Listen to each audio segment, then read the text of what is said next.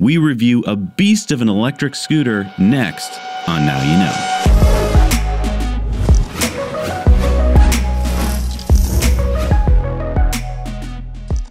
This is the eMove electric scooter by Voro Motors. A very interesting scooter. We did a review of the Xiaomi Mi, which is another electric scooter, a while back, and the eMove is a very different beast.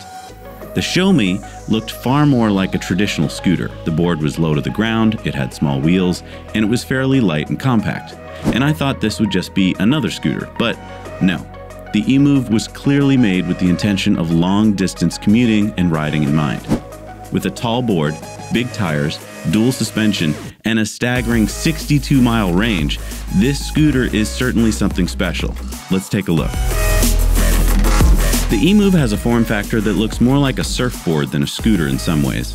It may seem a little big, but big board and tire size makes for a really comfortable riding experience.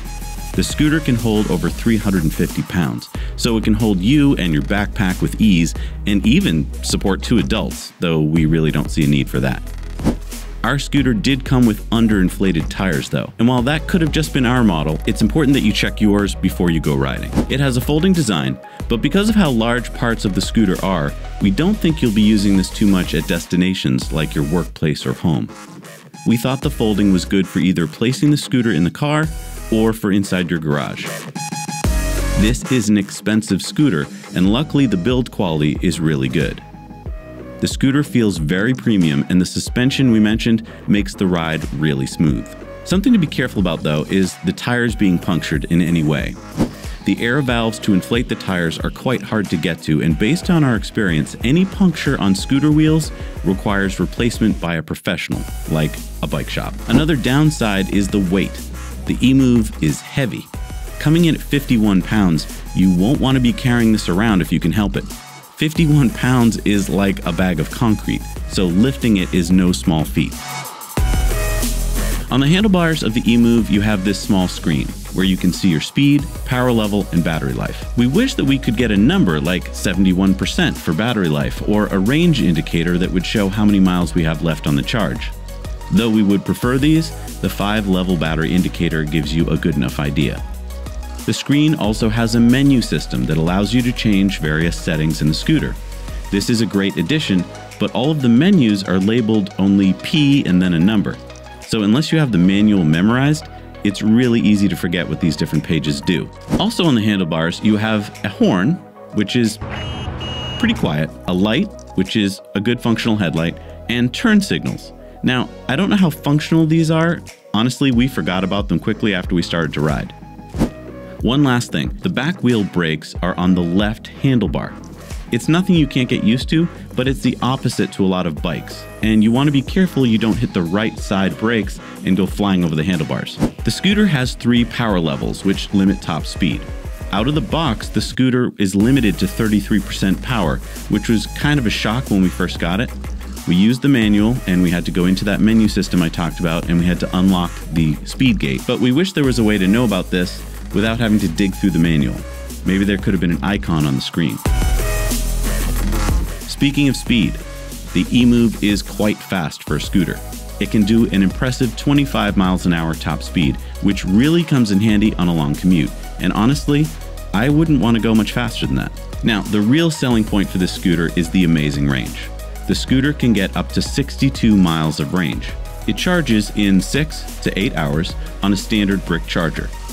We wish that there were a couple more options to charge, maybe one for the car. Aside from the battery, the range capability is made possible by the comfortable suspension and the 10 inch wheels. Without comfort or safety, no one would want to travel such a far distance on a scooter. Jesse put that range to the test.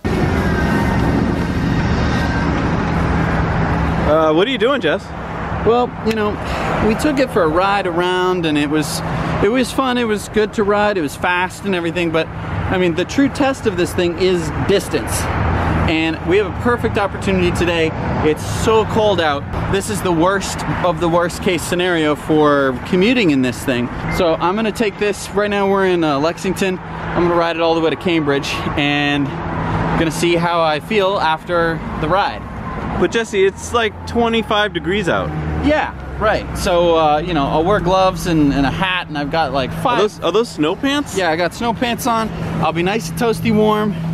This is really a test of the battery because this is the worst case, you know, scenario for the battery. It says it has 62 miles, so I mean, it should be a piece of cake.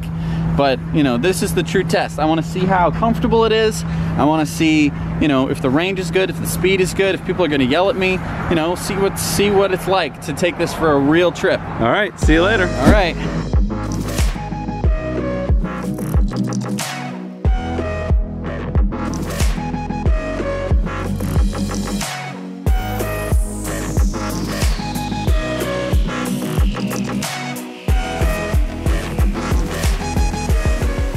All right, so uh, Jesse has shared his location with us so we can follow him, and uh, it is cold outside. I don't know if you can see this, but it is. Uh, it's 28 degrees out.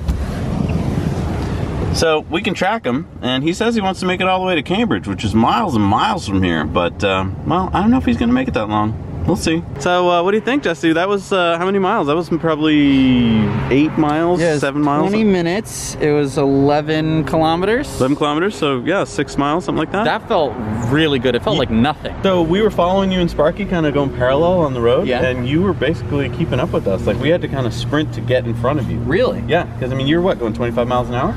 Um, you know, I noticed that I instinctually slowed down when there were people around. Because 25 miles an hour is too fast. Like that's gonna to zip by someone. Yeah, that's gonna frighten someone. So I would slow down to about 20 or 18. Um, so between I would say 25 and, and 18 miles an hour. So I mean, on basically on normal streets, we had trouble keeping up with you because you had no stoplights to speak of. Right. I mean, I had a couple stop signs here and there, and and um, you know, getting around people, it's not not that hard. And so, how was it like transitioning from you know streets like when you had to go over bumps? It's really nice. Yeah? I mean, this is really where the suspension shines is is that transition, and you know the the bumps on the road, it was able to handle those, um, whereas on on my you know on the the Xiaomi scooter, it would be like, right. You could just be like, you know, and it would just kind of bump along. Because I was thinking before that this was more just for fun, but you could really take this to work, couldn't you? Oh yeah. So Jesse, how's the battery doing? The battery's doing great. I mean, I saw it at three bars at one point. Um, I think that's just when you're using it, you know, so maybe, and I mean, keep in mind, it is 25 degrees outside today. Yeah. So, I mean, this is doing great. The one thing that I definitely forgot to grab from the car was my safety glasses. That would come Why do you need safety glasses? I'm going so fast, like, I'm tearing up. Oh, okay.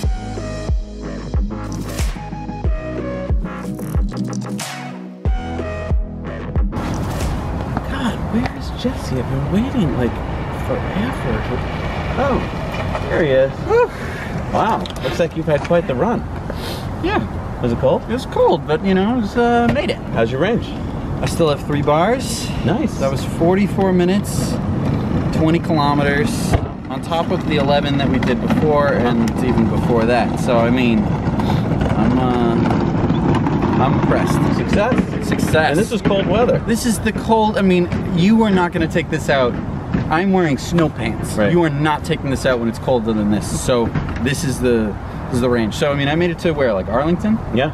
And then I made it all the way back to Burlington. Yeah. And that was with no break in between. That was 30 kilometers total. So I mean, the shocks really do take the the fatigue out of the ride. Yeah, I mean, there were some bumps, especially I was taking some bumpy sidewalks at one point, and uh, yeah, I mean, it, it, it, handled it really well. Big tree roots and stuff. You know, you slow down a bit, and it, it takes them. You don't have to hop off like I would on my on my Xiaomi. You know, the cold weather mostly is for the range. I don't think I don't expect you to get this suited up to to go for your ride. I think that this would be great in summer. Um, it's not summer now, and we, we can't wait six months to show you. So that's why we're doing it now. Right. But I mean, great commuter. Overall, we found the eMove to be a great piece of tech for commuters due to the impressively comfortable ride and excellent range. You really have to experience it to get it. The fun and riding experience is the real difference between this and an e-bike. It's not even a scooter if you think about it because the wheel size and the suspension kind of take it out of the scooter class. It makes it feel more capable. It's basically the best riding experience we've had on a scooter. Thank you so much for watching this review of the eMove e-scooter. We hope you enjoyed it. Please leave your comments down below. Don't forget to like and subscribe this video and please consider supporting us on Patreon. Thanks so much for watching. Now you know.